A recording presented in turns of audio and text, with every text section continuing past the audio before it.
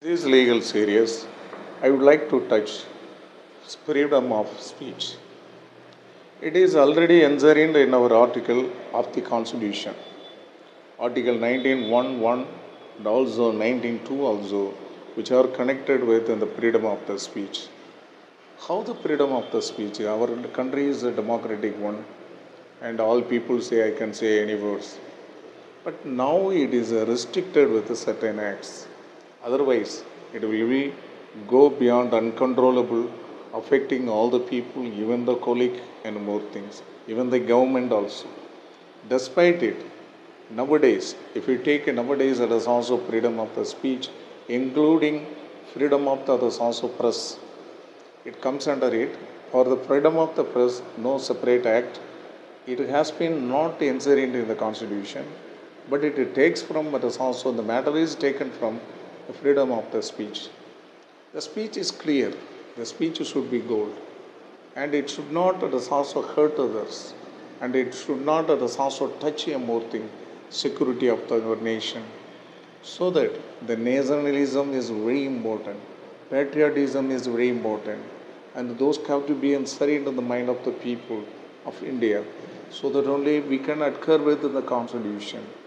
If you take freedom of the speech, in the name of the freedom of the speech, the politician who cross the limit nowadays, who does also hurt others, and who speaks in anything that we have seen nowadays many politicians attacking the religion and the religious practices which are also against the freedom of the speech. So now more hurdles and more protected hurdles, protective kind of hurdles have been imposed by the government not to do these things.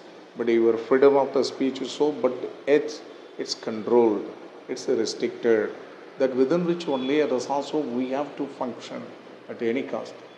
Freedom of the speech is only for our national, not for foreign national. The citizen of India is needed for the freedom of the speech. It not given, it is not given to the foreign national. So we have to take it as also very careful.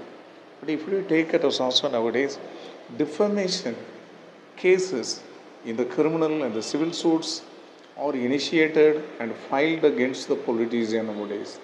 But they face it. But they are ready to also face it, it's one side. At the same time, their speeches hurt other people. It should not happen further. Our constitution empowers us through its article for the freedom of the speech.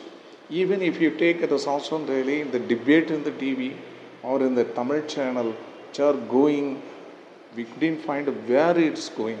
We couldn't find it. The people participating it the also they're participating in the debate go beyond their words, beyond the limit. They hurt others. They selected the also titles which are against in the constitution empowerment.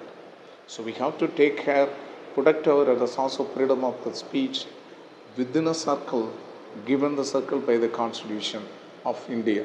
Thank you.